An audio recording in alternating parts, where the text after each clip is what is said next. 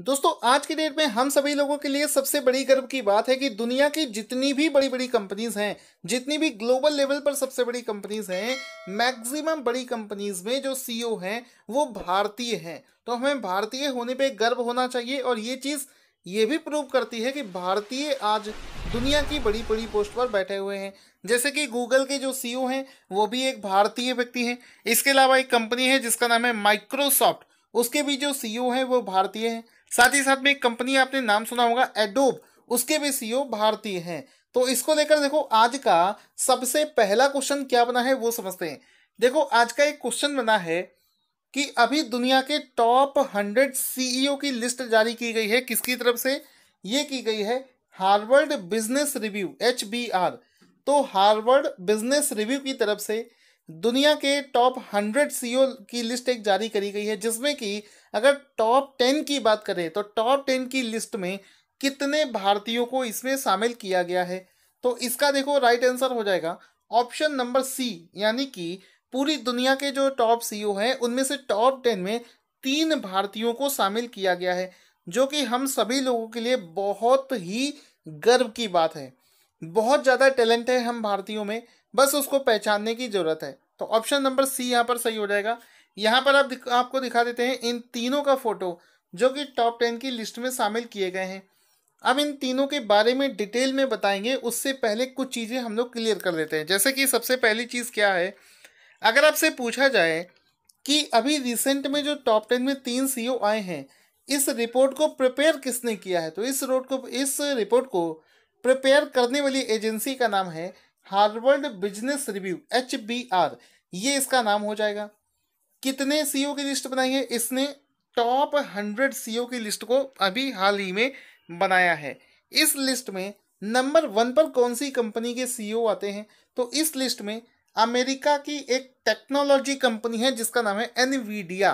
तो ये Nvidia company के जो सीईओ हैं, जिनका नाम है जेसेंस हुआंग, ये नंबर वन पर आते हैं। चीज़ों को याद करते हुए चलना, जहाँ पर भी आपको समझ में ना आ रहा हो, वीडियो को पॉज करके स्क्रीनशॉट ले लेना, उसको याद ज़रूर कर लेना। हम लोगों का पर्पस वीडियो देखना नहीं, जबकि वीडियो को पूरा समझ के याद करना है। इसके बाद में देखो, यहाँ पर भारतीय मूल के तीन लोगों को शामिल किया गया है टॉप टेन में, जिसमें से छठे स्थान पर आते हैं एडोब कंपनी के सीईओ जिनका नाम है शांतनु नारायण।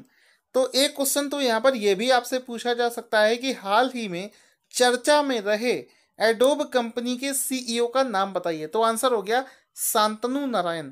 और जो इस टॉप टेन की लिस्ट में छठे स्थान पर आए हैं, इसी तरीके से अगले सीईओ का नाम है मास्टर कार्ड के सीईओ जिनका नाम है अजय बंगा। ये सातवें स्थान पर है। और ऐसा नहीं कि मैं आपको पहली बार बता रहा हूँ, मैं आपको ये चीज़ें कई बार बता चुका हूँ। रेगुलर फॉलोवर्स को ये चीज़ पता है। इसके बाद में देखो आते हैं माइक्रोसॉफ्ट के जो सीईओ हैं, जिनका नाम है सत्य नडेला, और वो नवे स्थान पर आते हैं। यानी कि टॉप टेन में भारत तीन भारतीयों को शामिल किया गया है। पहले हैं एडोब दूसरे हैं मास्टर कार्ड और तीसरे हैं माइक्रोसॉफ्ट के। तो इतनी सारी चीज़ें आपको पता होनी चाहिए। इसके साथ ही साथ में यहाँ पर कुछ हम लोग रिविज़न भी करेंगे। हम लोग क्या करेंगे? जो कुछ खास खास इंटरनेशनल कंपनीज़ जिसमें भारतीय सीईओ बनकर बैठे हुए हैं उनको देख लेते हैं, जैसे कि गूगल के सीईओ जो हैं, वो हैं सुंदर पिचई। यहाँ पर सुंदर पिचई का फ़ोटो देख सकते हैं, जो कि इस समय गूगल के सीईओ हैं। ये रहा गूगल जिसको शायद ही ऐसा कोई होगा जो ना जानता हो। उसके बाद में देखो, यहाँ पर एक कंपनी है, जिसका नाम है माइक्रोसॉफ्ट माइक्रोसॉफ्ट के सीईओ का नाम है सत्य नडेला। और सत्य नडीला का फ़ोटो भी आप यहाँ पर देख सकते हैं, जो कि इस समय माइक्रोसॉफ्ट के सीईओ हैं। इसी के साथ साथ में एक कंपनी है, जिसका नाम है एडोब तो एडोब के सीईओ का नाम है शांतनु नारायण। क्या नाम है? एडोब के सीईओ का नाम है शांतनु नारायण, जिसका की फ़ोटो भी आप यहाँ पर देख सकते हैं, शांतनु नारायण का।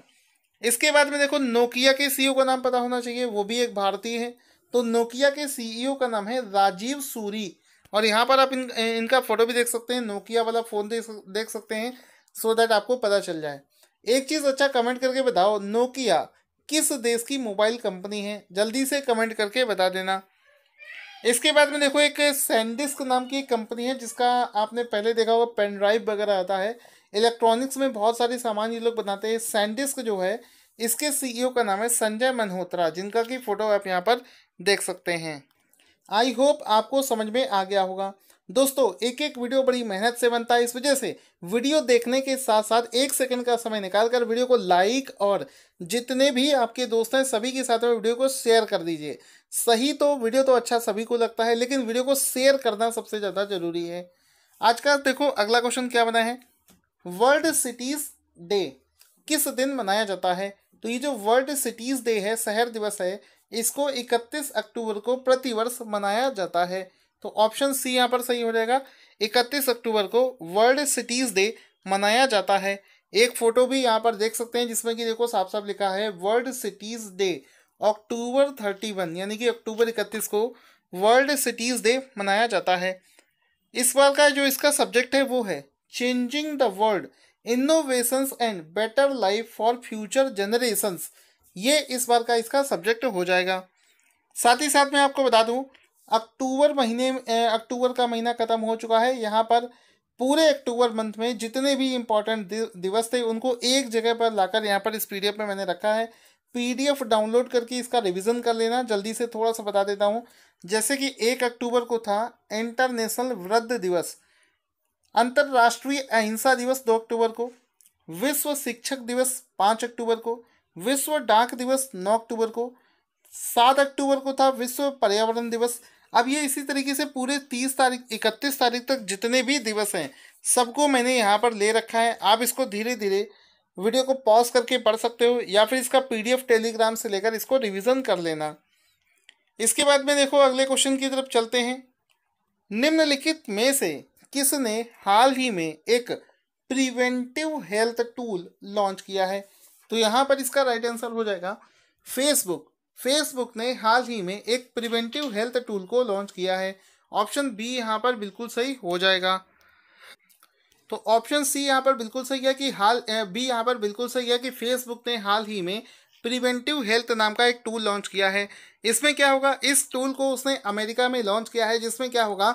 इसमें आपके स्वास्थ्य से जुड़ी हुई जितनी भी जानकारी है, वो इसमें शेयर करी जाएगी। जैसे कि आपका, इस फ़ोटो को अगर आप देख पा रहे होंगे, जिसमें देखो आपका ब्लड टेस्ट जो होगा बीपी ब्लड प्रेशर टेस्ट उसके बारे में है। इसके बारे में कोलेस्ट्रॉल लेवल आपका आपका एचपीवी टेस्ट और और भी बहुत सारे मेमोग्राफी हो गई।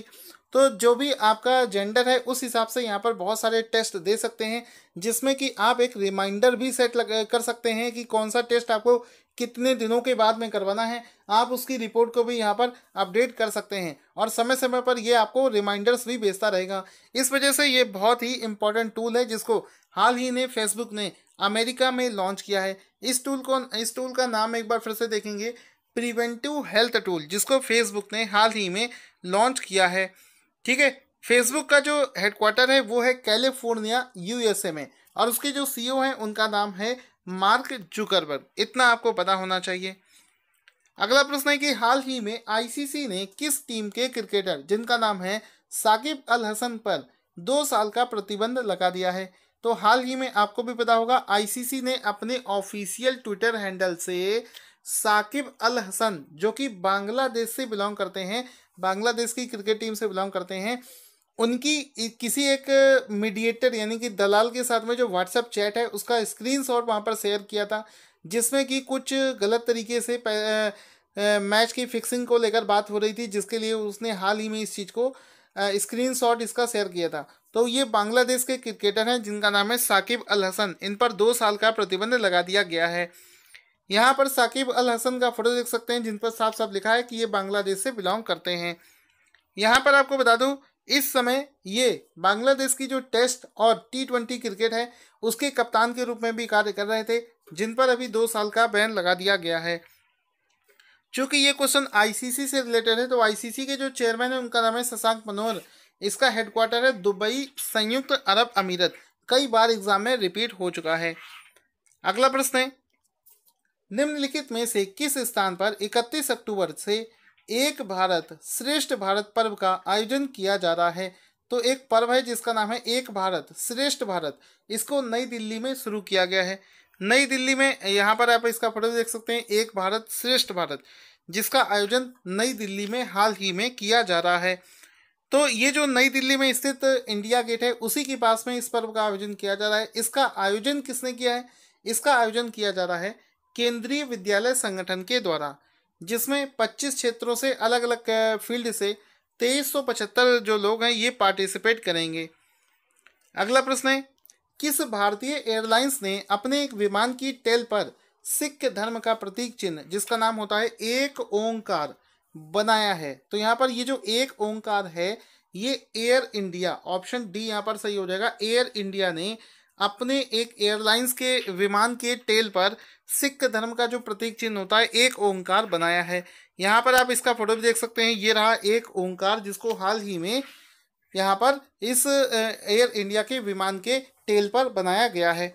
ये जो विमान है, ये आपको बता दूँ, अमृतसर से लंदन के बीच में उड़ान भरेगा, जो कि एयर इंडिया की पहली सेवा है, जिस पर सिख धर्म का प्रतीक चिन्ह जिसका नाम है एक ओंकार को उकेरा गया है।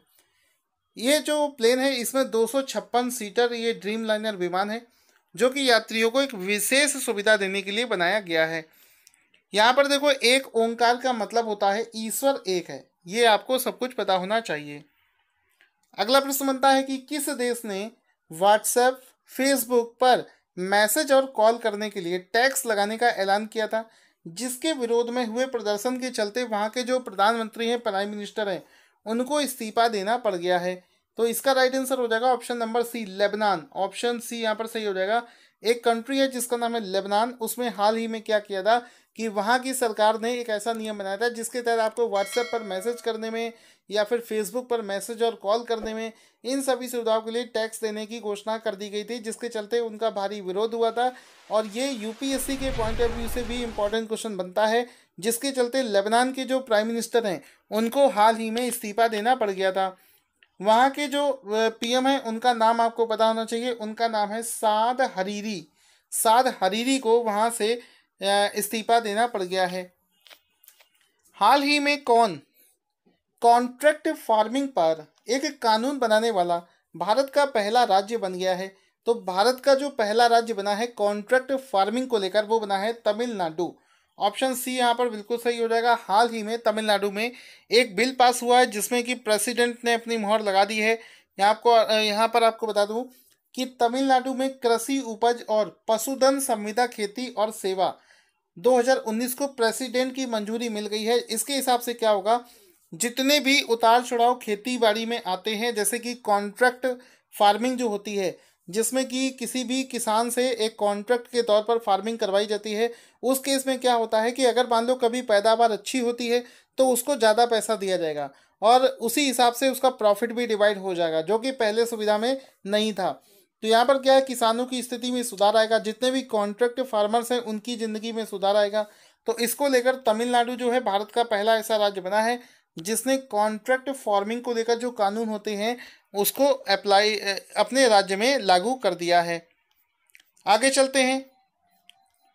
हाल ही में किसकी 125वीं जयंती पर वित्त मंत्री निर्मला सीतारमन ने एक विशेष स्मारक सिक्का जारी किया है। तो देखो, यहाँ पर परमहंस योगानंद, इसका राइट आंसर हो जाएगा। हाल ही में परमहंस योगानंद जी ने जी की 150वीं जयंती पर भारत की जो इस समय की वित्त मंत्री हैं, जिनका नाम है निर्मला सीतारमन, उन्होंने एक विशेष स्मारक सिक्का जारी कर दिया है। तो ऑप्शन बी यहाँ पर बिल्कुल सही हो जाएगा।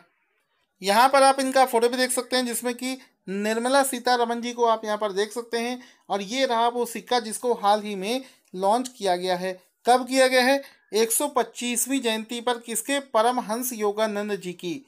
ऑप्शन बी यहाँ पर बिल्कुल सही हो जाएगा। इसका फ़ोटो भी आप यहाँ पर देखते हुए चलेंगे सो so दैट आपको सारी चीज़ें अच्छे से क्लियर होती चलें। अगला प्रश्न बनता है, अंतर्राष्ट्रीय इंटरनेट दिवस किस दिन मनाया जाता है? तो ये जो अंतर्राष्ट्रीय इंटरनेट दिवस है, इसको मनाया जाता है, आप लोग बताएँगे। सभी लोग इंटरनेट का इस्तेमाल करते हैं, आपको पता होना चाहिए, उनतीस अक्टूबर को अंतर्राष्ट्रीय इंटरनेट दिवस जो है, ये मनाया जाता है। ऑप्शन डी यहाँ पर बिल्कुल सही हो जाएगा। इसका एक फ़ोटो भी देख सकते हैं। इंटरनेशनल इंटरनेट डे, जिसको 29 अक्टूबर को मनाया जाता है। तो ऑप्शन डी यहाँ पर बिल्कुल सही हो जाएगा। साथ ही साथ मैं आपको बता दूँ 1969 में एक, अमेरिका के कैलिफ़ोर्निया शहर में एक कंप्यूटर से दूसरे कंप्यूटर में पहला इलेक्ट्रॉनिक संदेश भेजा गया था, जिसके चलते 29 अक्टूबर को ये 2000 सन 2005 से लगातार इंटरनेट दिन दि, दिवस जो है ये मनाया जाने लगा। तो दोस्तों आपको वीडियो कैसा लगता है ये चीज़ कमेंट करके ज़रूर बताया करो। मोटिवेशन मिलता है वीडियो को लाइक और शेयर कर देना। साथ ही साथ में आज का सबसे पहला क्वेश्चन जिसका आंसर आपको देना है कि मैक्सिकन ग्रैंड प्रिक्स 2019 किसने जीत ली है? एक महोत्सव है जिसका नाम है कुकुर तिहार। ये भारत के किस पड़ोसी राज्य में मनाया, किस पड़ोसी राज्य देश में मनाया जाता है? दोनों प्रश्नों के आंसर कमेंट बॉक्स में दे देना। आप सभी लोगों को ढेर सारा प्यार। इसी तरीके से तैयारी करते रहिए। God bless you all.